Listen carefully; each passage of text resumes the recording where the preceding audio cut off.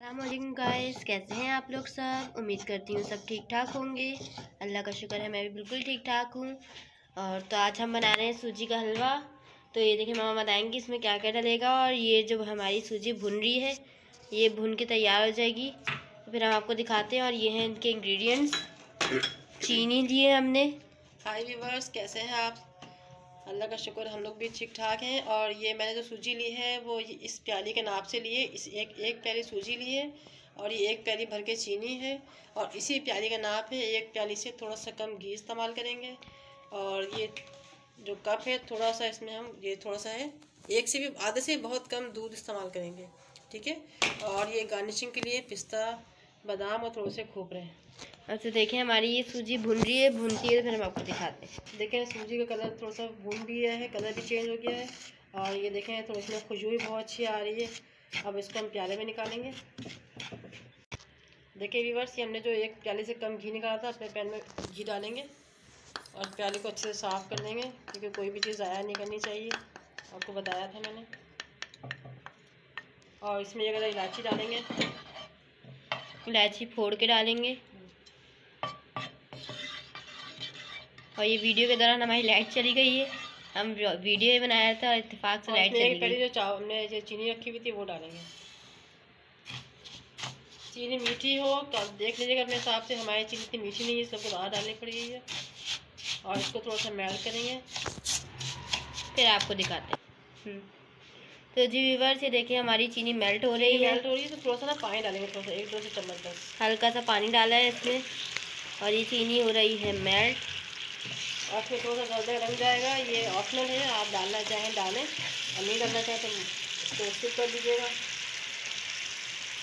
वैसे orange colour का ज़्यादा ऑरेंज कलर का जो हलवा है, वो ज़्यादा अच्छा लगता है।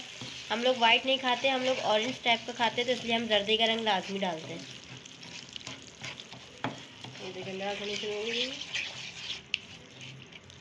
देखिए और इसका अच्छा सा कलर आ रहा है। ये चीनी बिल्कुल मेल्ट सी हो जाएगी जब तक ये और जब तक ये मेल्ट हो रही है हम अपने जो हमने जो सूजी में इसको भून के रखा था इसमें थोड़ा सा पानी डालेंगे ताकि ये सॉफ्ट हो जाए। तो जी व्यूवर्स ये चीनी मेल्ट हो रही है और बहुत मज़े का हलवा बनता है सूजी का हलवा जो है। ये हम लोग के घर में बहुत शौक से खाया जाता है। और ऑरेंज कलर तो हम अपनी मर्ज़ी से डालते हैं बहुत से लोग वाइट बिल्कुल खाते हैं हमें वाइट बिल्कुल नहीं पसंद। ऑरेंज हलवा क्या है अच्छा भी लगता है देखने में भी बहुत मज़े का लगता है। और ये देखें मम्मा लेकर आ गई में थोड़ा सा पानी डाल दीजिएगा इस तरह। ताकि इसमें जो पानी सोख लेगी सूजी और बिल्कुल नरम हो जाएगी ये। ठीक है? इससे हलवा अच्छा बनेगा। तो चलिए जब तक मेल्ट होती है चीनी उसके बाद फिर हम आपको दिखाते हैं क्या प्रोसेस करना है। देखिए बस हमारी सूजी अच्छी से सॉफ्ट हो गई है। अब हम इसको इसमें इसमें डालें के अपने जो चीनी और उसका खीरा था।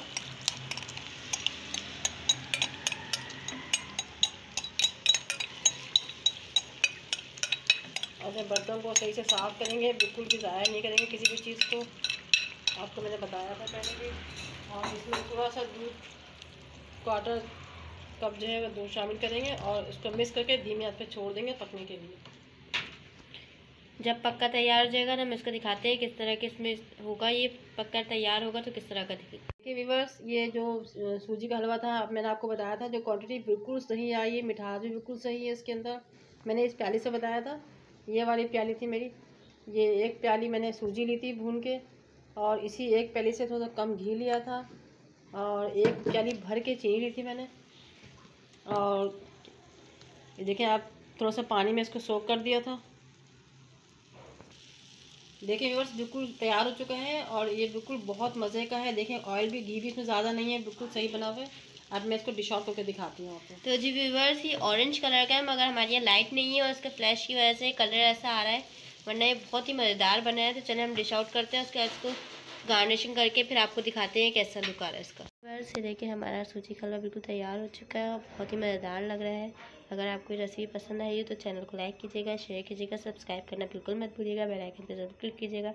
मिलते हैं जब तक किसी और वीडियो में। तब तक के लिए अपना बहुत सारा ख्याल रखिएगा। हाफिज़।